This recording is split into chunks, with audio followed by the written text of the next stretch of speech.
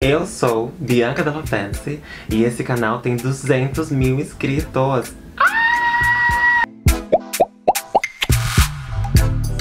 Gente, estou muito, muito, muito feliz. Finalmente alcançamos a marca de 200 mil inscritos no canal. Ai, parece que foi ontem que eu gravei o vídeo de 100 mil inscritos lá no meu quartinho de Piranga. Chorando, borrando a maquiagem inteira. Eu espero não chorar hoje de novo. Tudo bem que a maquiagem de hoje é a prova d'água, mas ainda assim, né, espero ficar assim bonita até o final do vídeo. Ela é confiante, ela acredita. Bom, não poderia deixar essa data passar em branco não mesmo. Em branco jamais. em preto? Sim, por isso que eu estou aqui hoje. Obviamente, se esse canal é um sucesso, se eu tô podre de rica, que sonho. Eu devo tudo isso a vocês aí que me assistem toda semana, ou quase toda semana, já que não posto vídeo toda semana no canal, mas tento manter esse canal sempre assim, ó, coisinhas, coisinhas ótimas que eu sei que vocês adoram.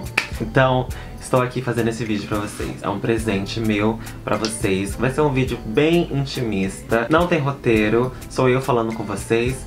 Passei só um gloss, bobagem. Lá no meu Instagram, arroba eu abri um campo de perguntas pedindo ideias de vídeos pra eu gravar hoje pra vocês para que a gente pudesse comemorar juntos os 200 mil inscritos desse canal. E a maioria esmagadora pediu um vídeo onde eu contasse um pouco mais sobre a minha história e a história desse canal. Eu não sei nem por onde começar, mas eu acho que começa lá em Santos. Eu sou de São Paulo, eu moro em São Paulo hoje em dia, mas eu passei boa parte da minha vida em Santos, morando com os meus pais. Aqui em São Paulo, quando eu era criança, lá pros meus 8 anos de idade, eu tinha uma bronquite horrorosa e para poder ficar viva e maravilhosa como estou hoje, eu tive que mudar para Santos. Não só eu, como toda a minha família. E a gente morou lá por muito tempo. Eu tenho 30... Ai, meu Deus. Eu tenho 30 anos de idade, apesar de não parecer. E morei em Santos até os meus 20 e poucos anos. Eu moro em São Paulo há dois anos. Gente, faz a conta aí porque eu sou péssima. É, 30 menos 2, sobe 3, cai asterisco 4. 18. E lá em Santos eu era uma bichinha. Diretora de arte. Trabalhei numa agência de publicidade lá de Santos por 7 anos é muito tempo. Se você trabalha em algum lugar fixo, aí você sabe que é bastante tempo. É difícil hoje em dia as pessoas ficarem tantos anos num lugar só. E eu fiquei sete anos naquela agência. No começo era assim, o trabalho dos sonhos, meus amores. Era tudo pra mim, tudo que eu sempre pedi. Dos meus orixás, por favor. Mas depois de um tempo, né, muito tempo de casa, a gente começa a perceber algumas coisinhas, né? Coisinhas que não acontecem da forma como deveriam. Fato é que eu ganhava bem mal para minha posição, para os anos de casa, para minha experiência. Tanto é que até os meus 20 e poucos anos eu ainda pedia dinheiro pelos meus pais. E não é vergonha nenhuma se você precisa ainda pedir dinheiro pros seus pais. Mas eu não gostava de fazer isso. Eu sempre quis ser independente, sempre quis ter independência financeira, psicológica, independência, quero estar plena. Sempre quis ser uma pessoa plena que não precisasse pedir dinheiro pra ninguém. Eu já falei aqui algumas vezes. Meu pai é um homem preto, retinto, e ele aprendeu o que é ser homem através da ótica da sociedade, das pessoas que ensinaram para ele. E ele tentou me passar essa visão e eu definitivamente não aprendi. De fato, eu me neguei a aprender. Esse homem, esse macho alfa, nunca quis aprender. Quando eu tentei, foi um fracasso. Então eu falei, gente, não dá pra mim eu não sou essa pessoa, jamais ser. E a minha mãe sempre foi muito mais aberta. Minha mãe fugiu de casa pra casar com meu pai, pra vocês terem ideia. Minha mãe é maravilhosa. Meu pai também é maravilhoso. Mas a minha mãe sempre me aceitou muito mais, sempre foi mais fácil pra ela aceitar o fato de que eu era diferente daquilo que eles imaginavam que um dia eu iria ser. E depois de um tempo eu entendi que é bem difícil às vezes para os pais conceberem a ideia de que o filho não é aquilo que eles imaginavam. A sexualidade da gente é de fato uma coisa extremamente pessoal, mas os pais né, vira e mexe, querem botar o bedelho ali. Então, basicamente, eu era uma bichinha quá, quá, quá, quá, tinha instância trabalhando num lugar onde não queria mais trabalhar. Mas eu tinha medo da mudança. Sabe o medo da mudança? E quando a gente quer muito alguma coisa, a gente sabe que precisa mudar, mas a gente tem medo do que vai acontecer. Medo de dar errado e ter que lidar com o fracasso, ter que lidar com expectativas que não funcionaram, não vingaram. E medo também de dar certo, porque se der certo, o que, que eu faço, gente? Como é que eu vou manter isso depois? Muitos medos e eu não conseguia sair daquela situação. E eu fiquei em Santos por muito mais tempo do que gostaria. E eu sabia que São Paulo era o lugar para mim. Eu sabia que São Paulo era o lugar que ia me dar mais oportunidades. Não que São Paulo seja o lugar das oportunidades, como muita gente acha, mas para mim, pessoalmente, eu sabia que era. E nessa época eu nem era drag, mas eu vinha para São Paulo para sair com meus amigos, para ir pra boate encher a cara, ficar um pouco mamada, né? E eu já sabia que aqui era um lugar onde eu poderia ser eu, de fato, sem ter que me preocupar com nenhuma performance masculina ou qualquer outra coisa, senão ser muito verdadeira comigo mesma. Foi aí que eu e meus amigos de Santos começamos a assistir RuPaul's Drag Race. Ai meu Deus, foi aí que tudo desandou. Ai que meu barraco desandou. Se perder. Brincadeira, foi aí que um mundo abriu na minha cabeça. Foi incrível, porque a gente assistia RuPaul's Drag Race, a gente amava. Falou na RuPaul, ela passa de avião. Só pra ver que eu tô falando dela. Tô falando bem, gata, fica calma. E a gente montou um plano. A gente assistiria RuPaul's Drag Race. E no final do ano, a gente se montaria pra vir pra São Paulo pra curtir alguma festa. Foi um ano extremamente fora de contexto, gente. Por conta dessa montação, eu desfiz amizades, porque uma grande amiga minha na época, uma bicha que nem eu, que ia se montar com a gente no fim do ano, comprou a mesma peruca que eu. Eu fiquei puta! Gente, foi assim, uma loucura. Eu sei que chegou o final do ano, ninguém se falava mais. Era uma peruca preta, lisa na época, porque eu queria ser a Naomi Campbell. Comprei um look caríssimo, foi um investimento. Acho que eu tenho ele em algum lugar por aqui, em algum baú. E vim pra São Paulo, montada. Foi a primeira vez que eu saí montada na minha vida. Eu fiquei extremamente nervosa. Eu tremia da cabeça aos pés, eu não sabia o que fazer. Eu tava na fila da boate, Ainda pegava fila. Ai, um vestidinho, minha filha. Um vestidinho de periga, toda errada, feia, feito cão. Mas na minha cabeça eu estava maravilhosa. E era isso que importava pra mim. Ah, inclusive até hoje é isso que importa pra mim. Se eu estiver me sentindo bem, meu amor, quem não gostar, não me liga. Curtimos a boate a noite inteira. As amigas que viraram inimigas também estavam lá. A gente refez a amizade.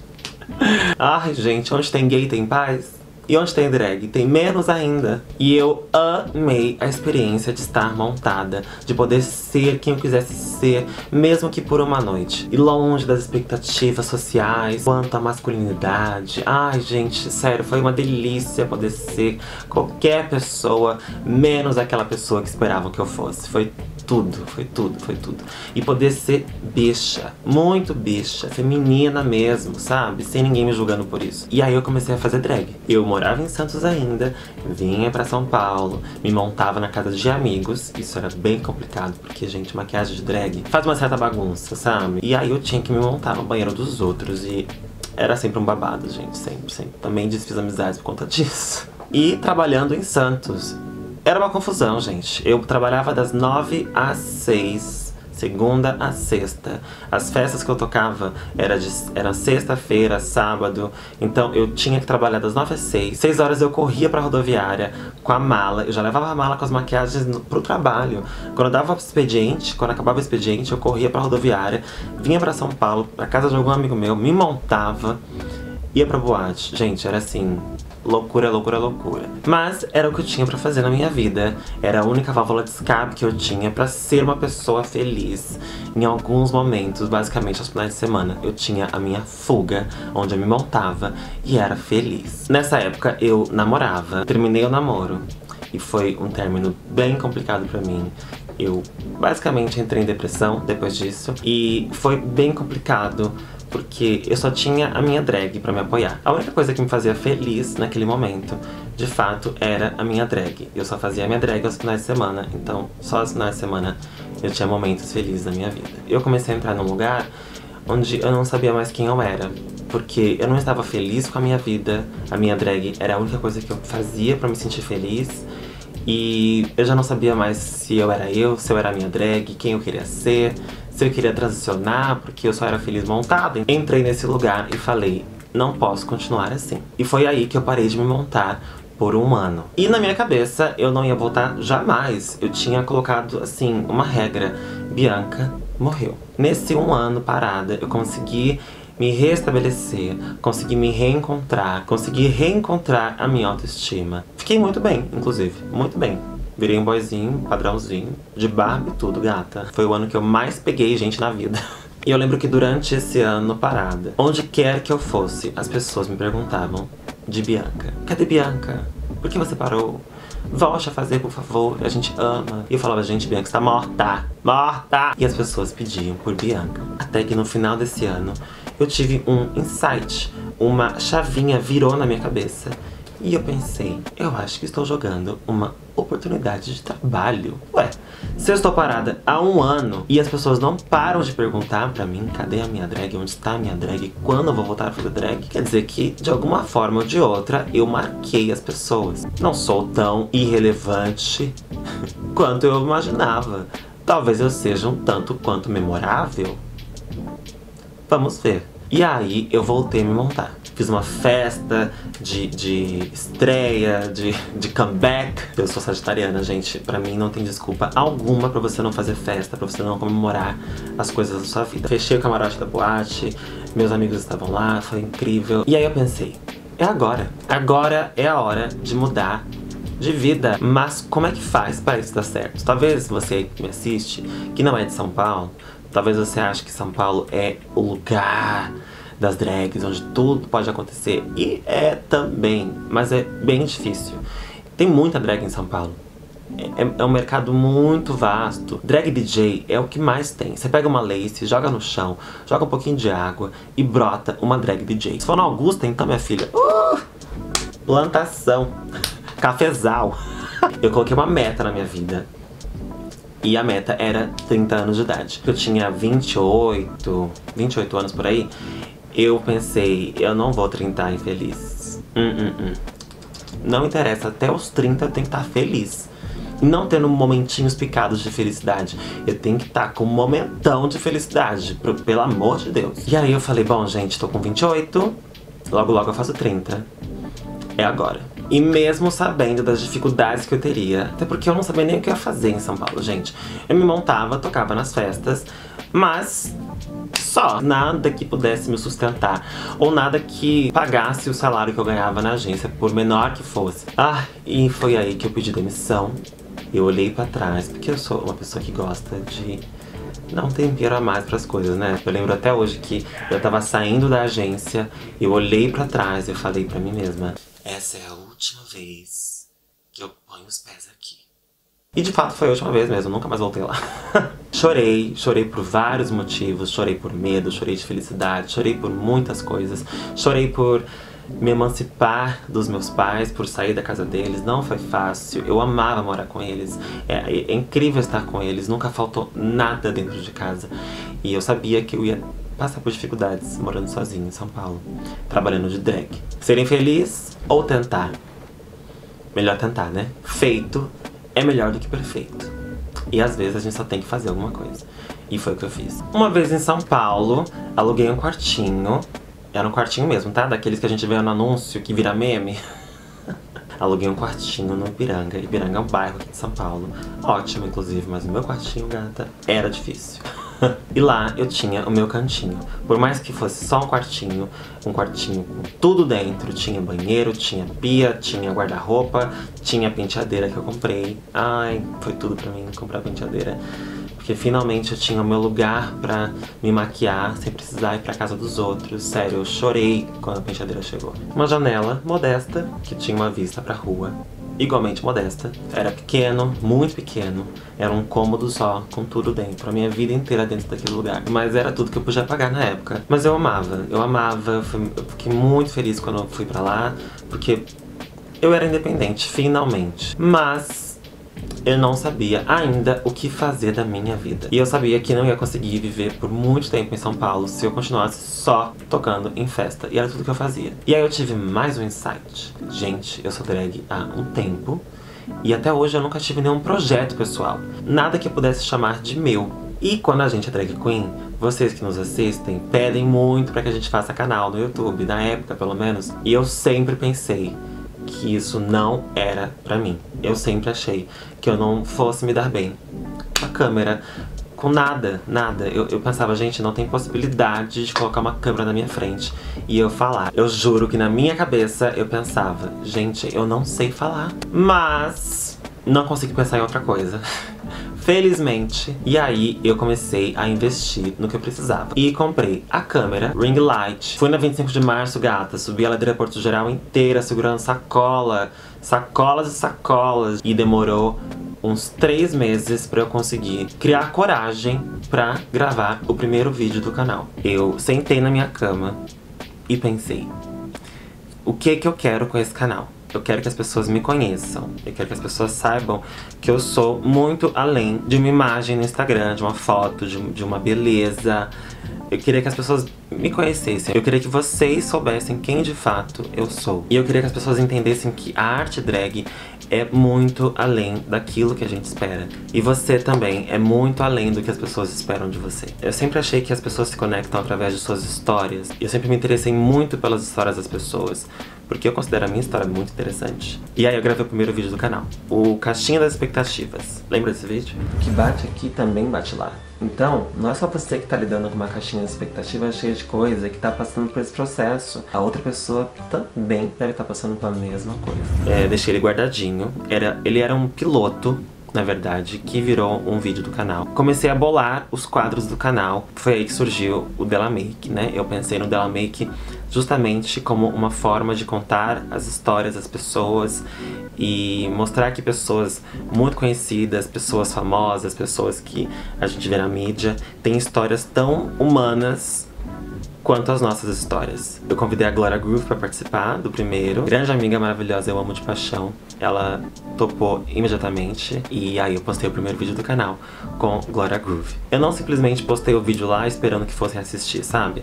Eu, eu fiz toda uma, uma identidade visual, gata. Eu, eu fiz post no Instagram, de divulgação do meu canal, porque eu acredito que a gente, eu já falei isso aqui no canal, hein? A gente tem que tratar com grandiosidade alguma coisa que a gente quer que se torne grande, tratando ele com a grandiosidade que eu espero que um dia ele tenha.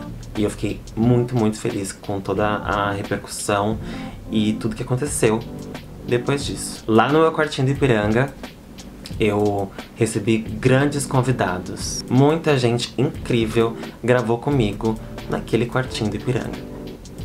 Isso me mostrou que não dá pra gente deixar de fazer as coisas que a gente quer por conta do que a gente tem. Pelo contrário, a gente tem que fazer o que a gente pode com o que a gente tem. E foi o que eu fiz. Uh, ó, ela se emocionando. Olha ela se emocionando.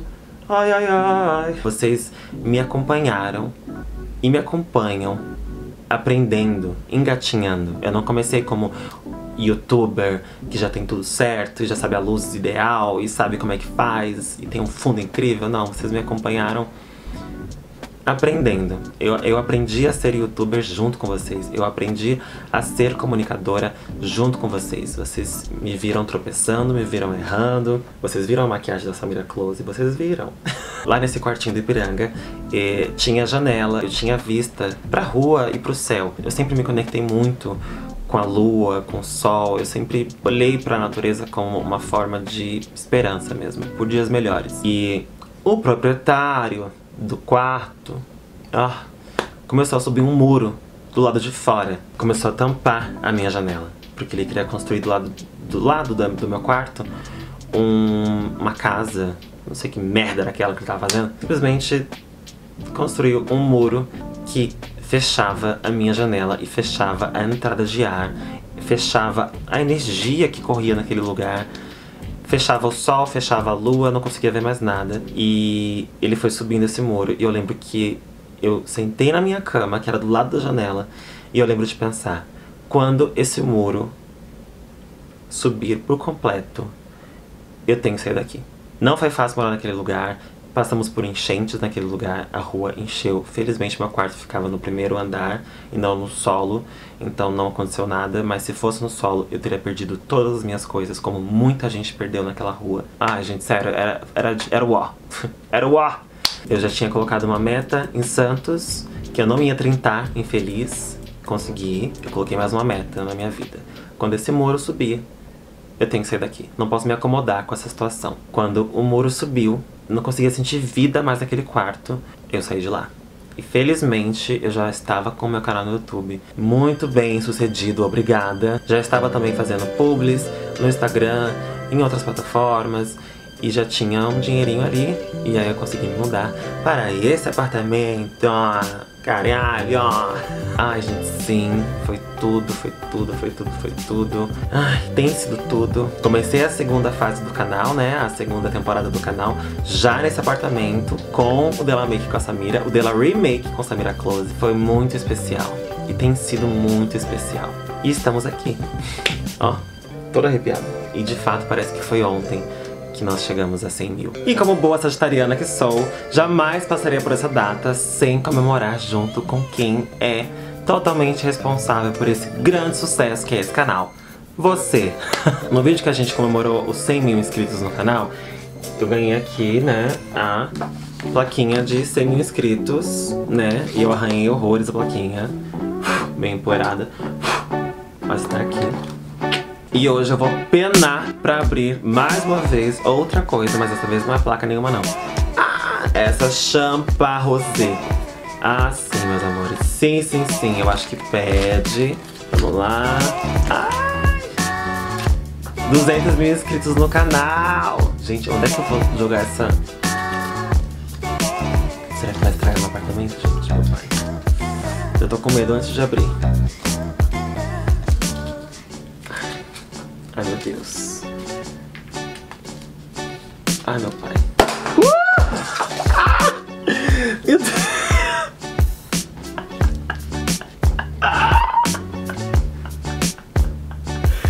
Gente.